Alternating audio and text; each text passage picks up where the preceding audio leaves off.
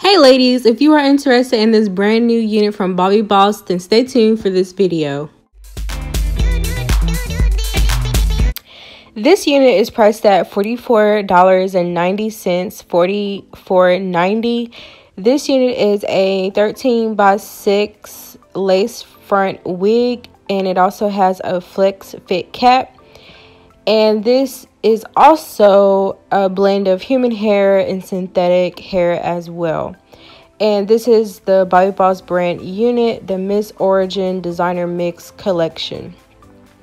Now this unit comes in many other different styles that you can choose from as well as many other different colors.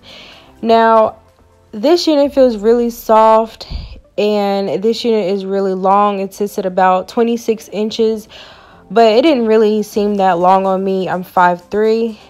Now, the baby hair on this unit is very, very long. Keep that in mind. I don't know why these baby hair was so daggone long, but they really are. It comes with your three standard wig clips as well as your standard straps in the back as well.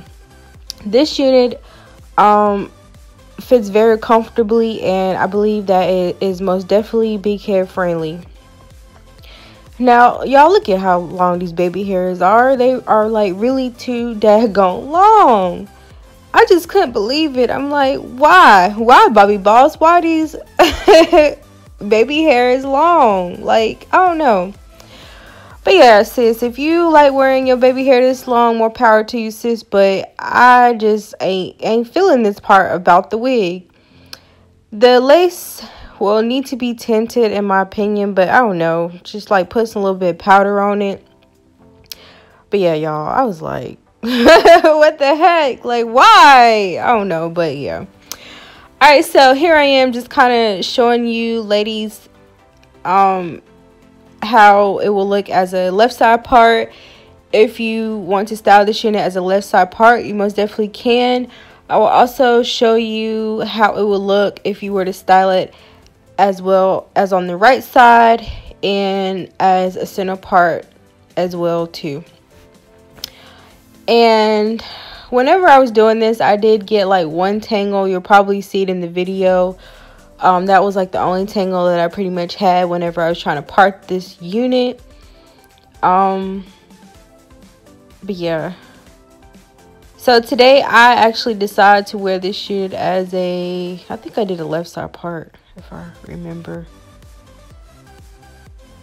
No, no, no, I didn't do that. I'm tripping. I did a center part. Uh, I'm tripping. I'm thinking about a different wig. I'm sorry, y'all. But I actually decided to style this unit as a center part today, to be exact. And this parting space, it has a lot of parting space. That's what I really do like about this unit, though. It comes with a lot of parting space. But yeah, right here, I was like, you know what? I'm gonna I'm gonna put some bangs up in this unit. I'm gonna I'm gonna do the bang look. I'm gonna cut. I'm gonna cut it or whatever. But then I was like, mm, nah. I'll just style it as a center part wig today. I'll just style it like that today. But I don't know. I might just change my mind.